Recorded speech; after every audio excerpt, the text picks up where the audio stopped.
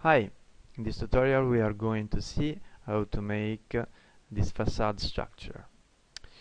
This shape is somehow related to the pinecone uh, uh, shape that we did uh, in the previous tutorial, but we're going to make it in a different way. I like to show the shape uh, with this uh, artistic preview mode, which has this nice occlusion effect now let's see the grasshopper definition. Actually we're going to start with uh, a revolution in order to make the uh, surface. Then we're going to divide it and uh, uh, we'll see some uh, interesting uh, feature of paneling tools uh, then we are going to see how to reorganize data in the tree and finally how to make uh, a visualization mesh with some Weaverbird tools. Start this rhino curve. Then we are gonna draw an axis of revolution. Like this. Let's start our definition importing the curves in Grasshopper.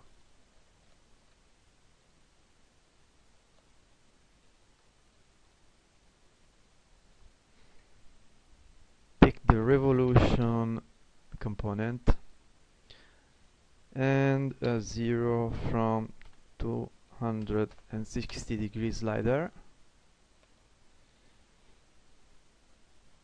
and radians component. Degree set one curve well profile and axis.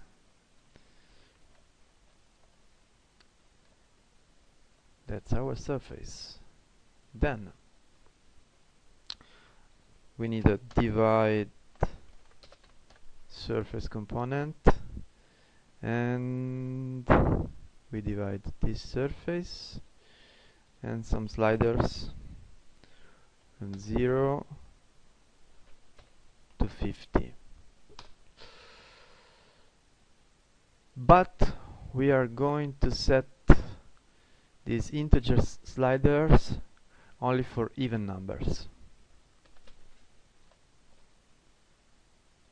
U and v and we are gonna make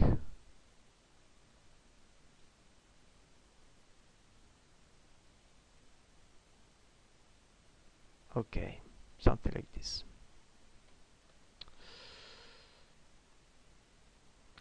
Let's see how this tree is organized.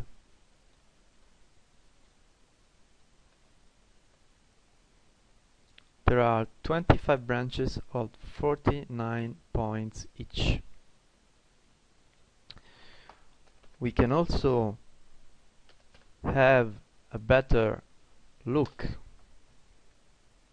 of uh, each single branch with these tree branch component. Then we use a slider from 0 to 24 and we grab in the tree then we use simplify. And we can see how the trees are organized. We have columns of point.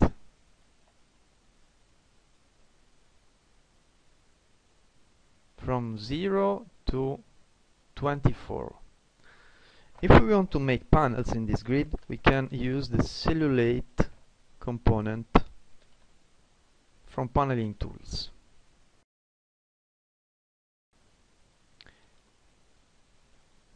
Cellulate with this grid of point will produce rectangular cells.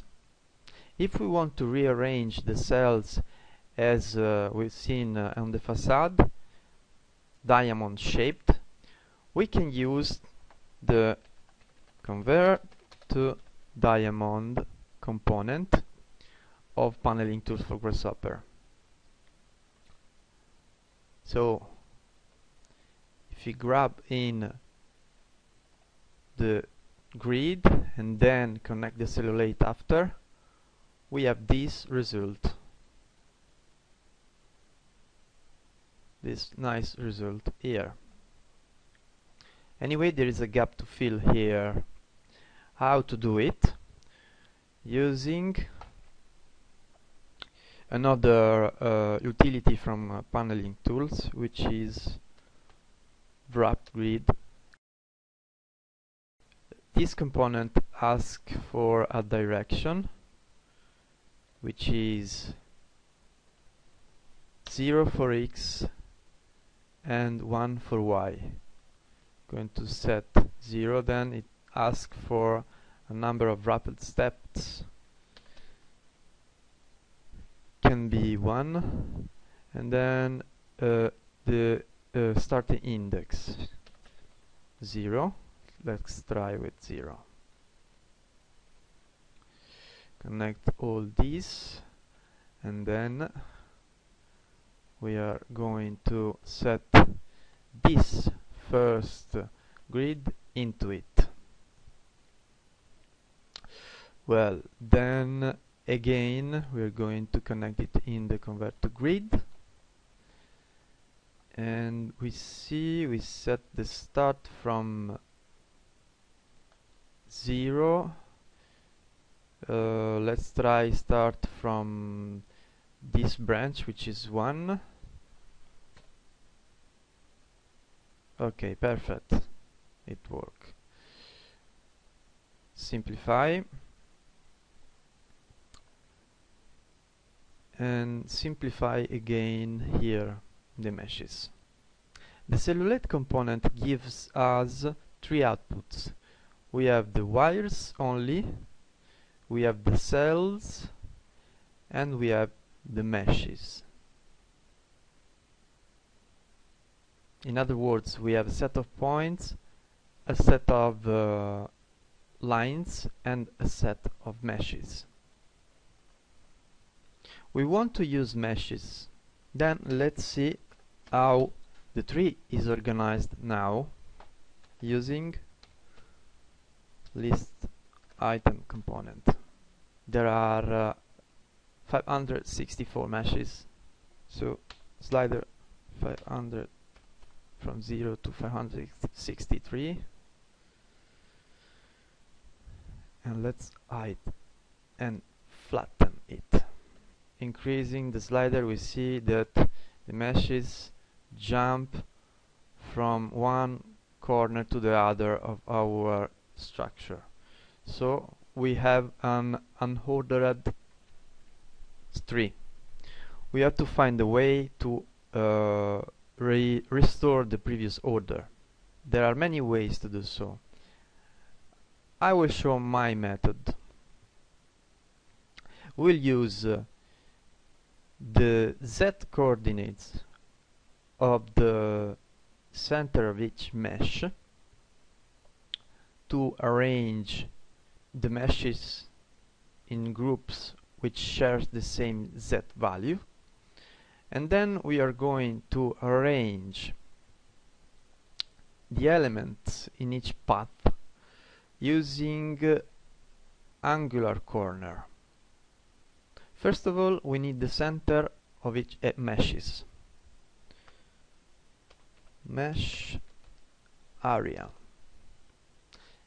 Then we are going to flatten the points and deconstruct them in order to have the coordinates. We are interested in the z coordinate then we go to set and sort list sort list component asks for a list of sortable keys and an optional list of values to sort synchronously to the one we sorted here. We want to sort all the z coordinates of points and then sort the points list in the same fashion as result we have here a list of points that will be now sorted by z values. Let's take a look with the list item component. All the points with the same z values. Then the second row the third row and so on. Now we have to rearrange the data in sorted circles of point first of all we need a partition list and we have to reorganize it in groups of rows. That's the list and then a panel.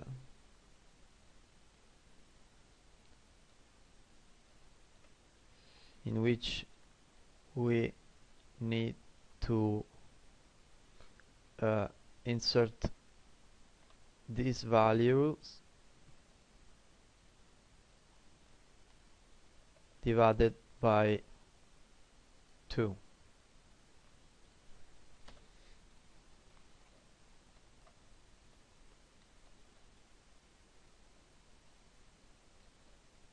which is 12 all the points have now uh, 3D coordinates 3D space coordinates. In order to arrange them we need to translate these coordinates to polar.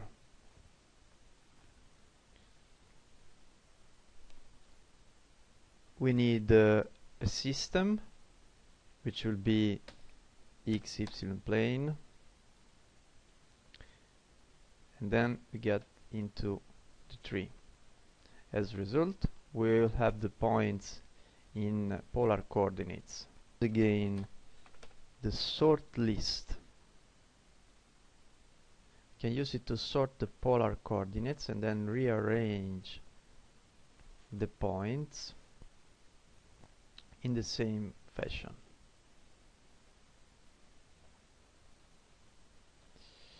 as output we now have here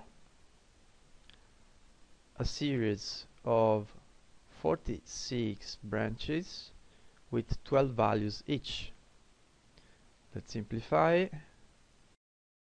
We want to apply the same sorting to the list of meshes that we have here how to do so?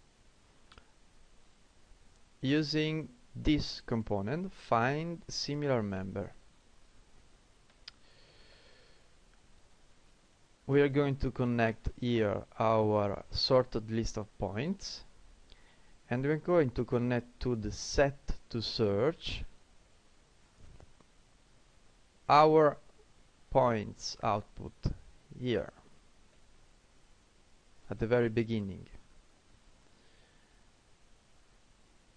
now we are going to have as an output a list of indexes which are the indexes of h in set this list of indexes will be our sorting map for the mesh list. We grab in the list item component and finally we grab our meshes into it.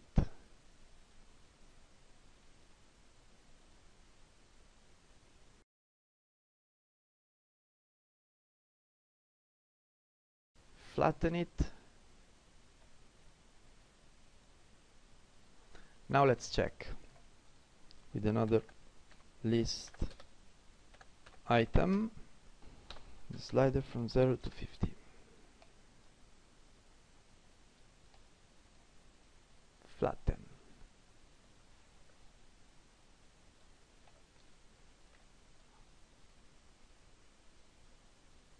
the zero is here and then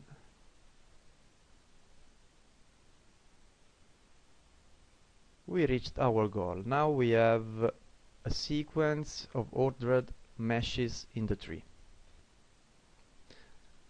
Let's extract the normal. For the meshes. Then use an amplitude.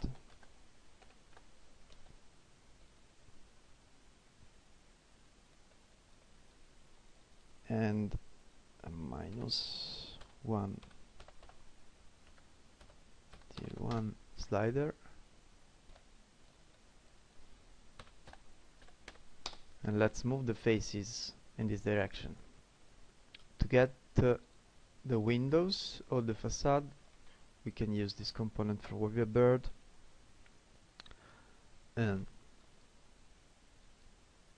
connect it here with uh, a slider from 0 to 5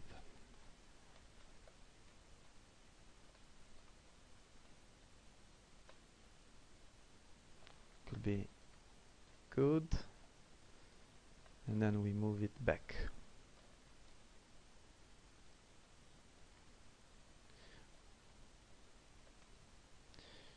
Then we use the Weaverbird frame component picture frame with the same amount as distance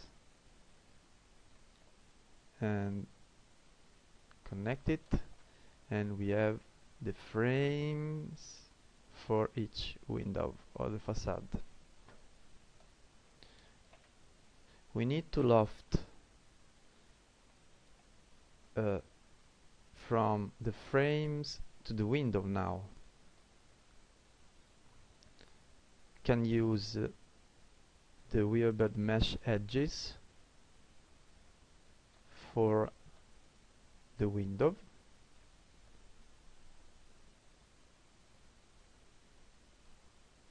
For the moved window sorry. Here. And we use the Weaverbird naked boundary here for the frames. This component gives a couple of closed polylines for each frame because there are two naked boundaries. But normally they are sorted. The first and the second uh, boundary for each frame.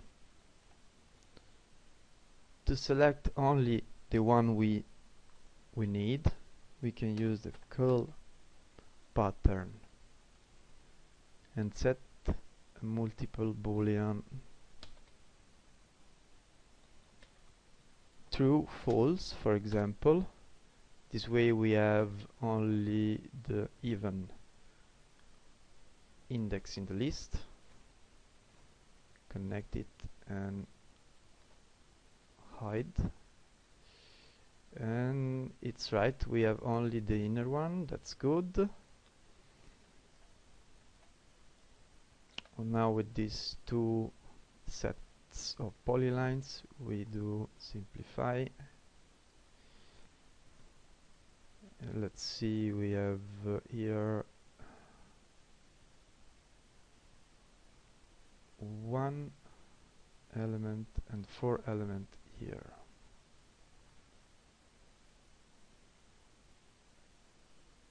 So we need to graft these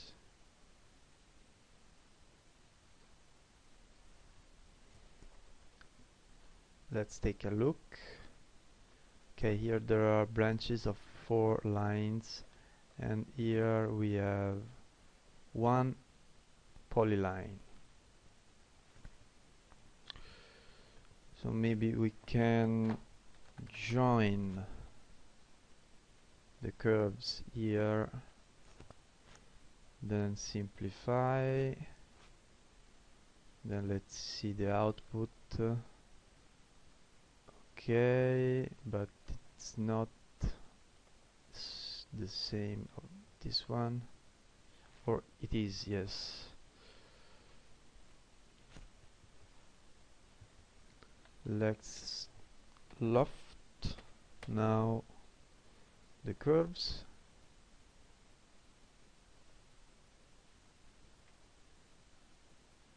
Okay perfect. It works as a result we have the lofted faces from the frames to the windows.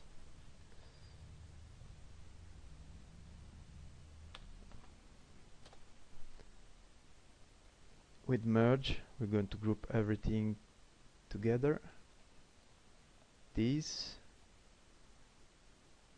with the windows and the frames.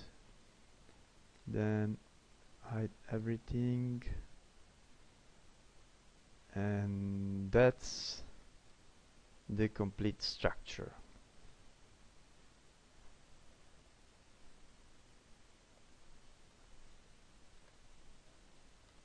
Here we can now bake it in. Rhino if we want.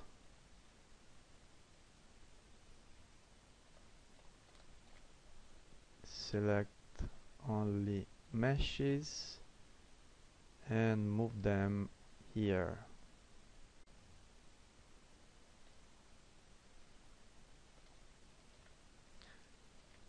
Here. Our facade